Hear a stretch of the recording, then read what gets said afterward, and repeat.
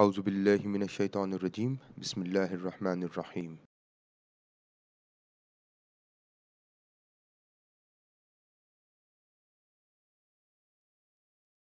Serial Mediation Analysis in AMOS IBM SPSS AMOS series Introduction to Serial Mediation Now serial mediation also called chain mediation is where the influence of an independent variable flows through multiple mediators before impacting the dependent variable.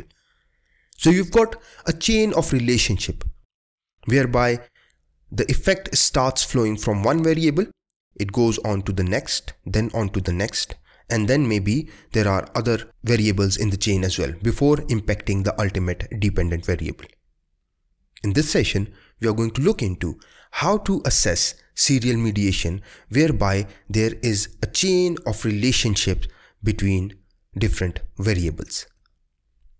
Now serial mediation often takes place where the first mediator will have a direct relationship with the second mediator before ultimately having a relationship to the final dependent variable. With this type of mediation, you have to account for indirect effect across multiple constructs. Now, your impact or your indirect impact from your IV to your DV is flowing through multiple constructs or variables. Now this type of mediation we are going to use estimates function again as we did in the last case where we assessed multiple mediators. In this revised model, the influence or effect of organizational learning, which is our IV, is proposed to flow through two mediators that is collaborative culture and organizational commitment to organizational performance. Now putting this another way, the indirect effect of organizational learning represented by OL to organizational performance represented by OP actually flows through two constructs collaborative culture CC and organizational commitment OC. Next we need to label the arrows that is our parameters between each construct just like we did in our normal parallel mediation. Now look at this, this is how we are going to label it. The IV organizational learning is impacting collaborative culture which influences organizational commitment and that influences organizational performance. So look at this, there is a chain of relationship. Since it's mediation, so we've got a path labeled from OL, which is your IV, to OP, which is your DV. Now, how do we label and what are the labels for each relationship? So A path, this is your A path from your IV to your first mediator, OL to CC. That is your A path. Your B path is the relationship or impact of organizational commitment OC to OP. Your D path is the relationship between the two mediators. And your C path is actually the original relationship between IV and DV. Now first let's label these in AMOS. So now here is our model. We've got our independent variable, dependent variables and the two mediators. Now in order to label the paths, what you need to do is just double click the arrow. And the regression weight for this one is labeled as A underscore path. Similarly, you can do for IV and DV is actually C underscore path. This is D underscore path. So just double click it and obviously go to parameters and then you can label it. And this is B underscore path.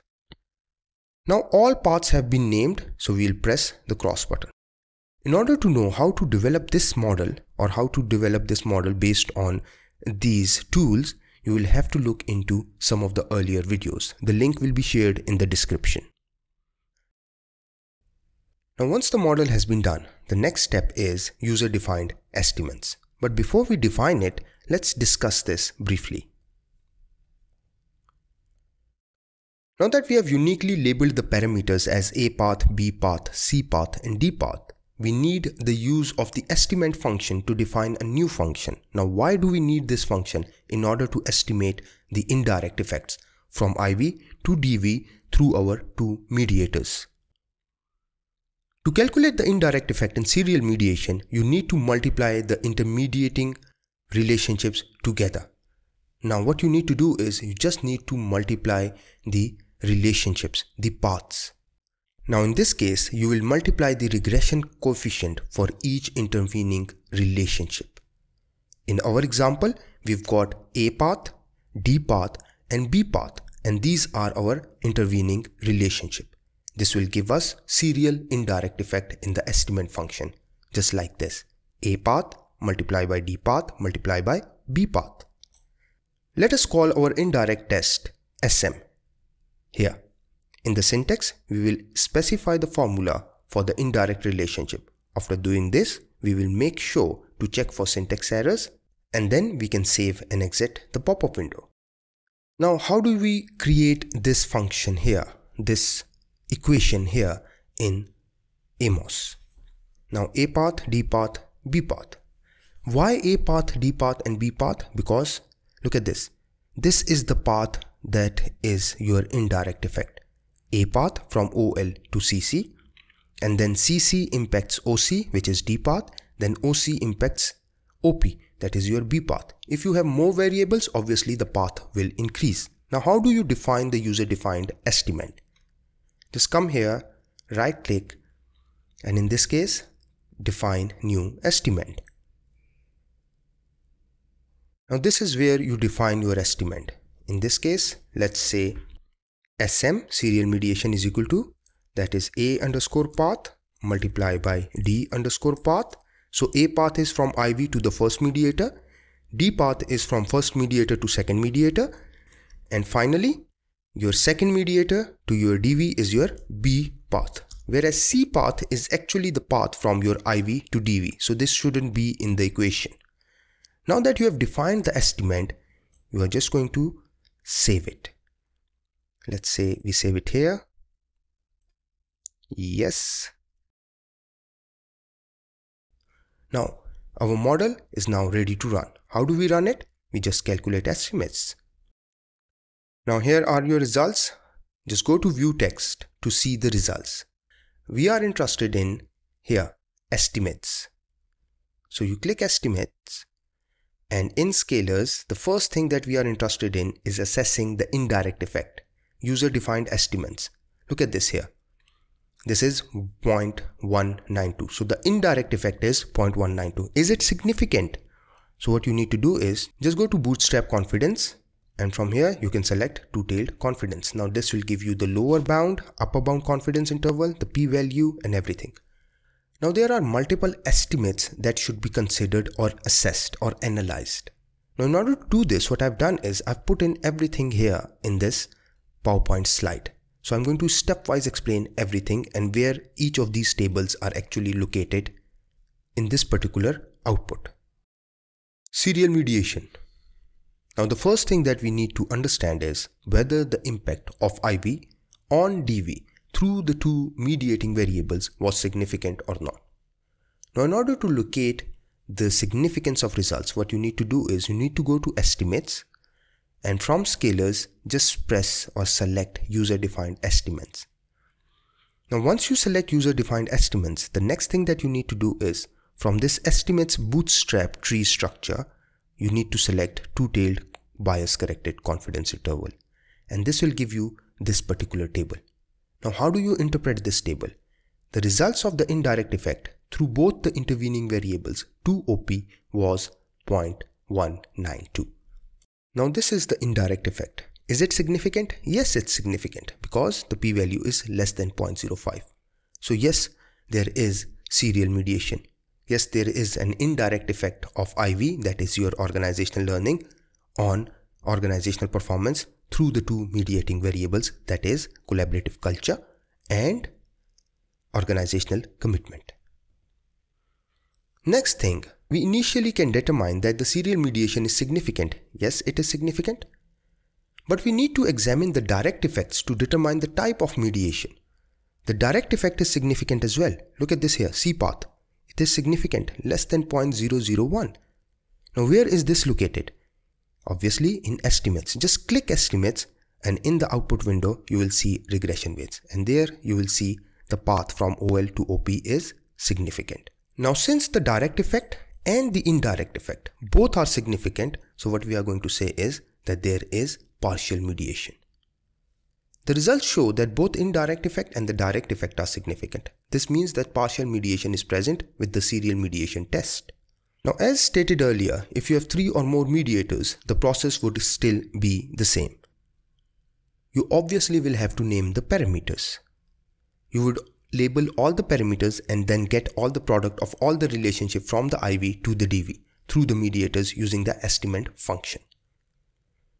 Moving on. Now this is the lower bound bias corrected confidence interval and this is the upper bound bias corrected confidence interval. Now where do you get this? Obviously from the estimates select matrices and within matrices you will have indirect effects. Now once you click indirect effects the next thing that you need to do is select bias corrected percentile method and therein you will see this table. If you go to the bias corrected percentile method, from these indirect effects where the bootstrap analysis is presented, you get the same confidence interval and p-values as one listed in estimates output. Now the same thing, 0.126, 0.382, you will get the same lower bound and upper bound in the estimates table. User defined estimates table. Now look at this here, 0.126, 0.382 and this is the same as here, 0.126, 0.382. Now what is this? 0.393. This is the indirect effect from OL to organizational commitment. Why and how is this an indirect effect? I'm going to just show this in a short while. Now remember these results are similar to the user-defined estimates, these user-defined estimates that we saw earlier, only because you've got one path from the IV to the DV. There are no multiple independent variables, no multiple dependent variables so that the paths could change. In this example, the indirect effect of OL to OP has no other possible indirect effect but through the two mediators. Now since the indirect effect from OL to OP could only go through the two specified intervening variable, we should be able to get the same results from the indirect effects. Now look at this 0.192. Isn't, is, isn't this the same indirect effect that we got from user defined estimates? Yes it is. So how do you get this? Just go to matrices, select indirect effects and from bootstrap, select estimates. So what is this? What is this indirect effect? So 0.192, the indirect effect of OL to OP. So what is this? 0.515, what is this? 0.212 from CC to OP, OL to OC. Now look at this. OL affects CC and organizational commitment is affected by CC. Now what happens is that the effect of OL on OC is mediated by CC. So you've got an indirect effect flowing from OL to OC from CC.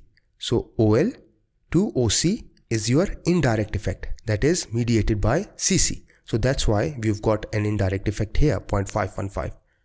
What about this? CCOP. Look at this CC and OP now there is a mediator in between that is organizational commitment OC.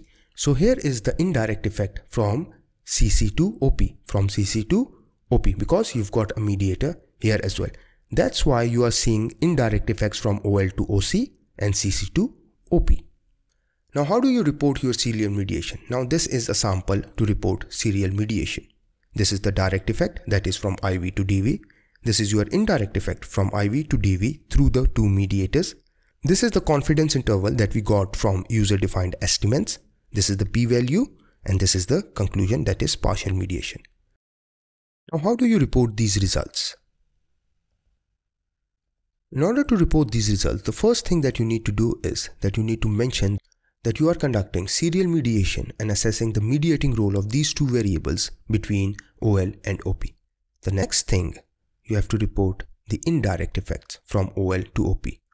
Yes, they were significant, so your hypothesis or your serial mediation hypothesis is supported. Following this, you report the direct effect of OL on OP in presence of the mediators was also significant.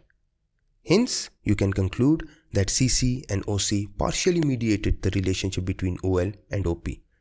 And obviously make sure that you mention your table in the text. That is, you cite your table in the text. Finally, if you want to know more, refer to this book by Joel E. Collier. I hope this video would have helped you understand the concept of serial mediation and how to assess serial mediation in AMOS. Thank you very much. Please do like and subscribe to the channel if you haven't yet. Thank you.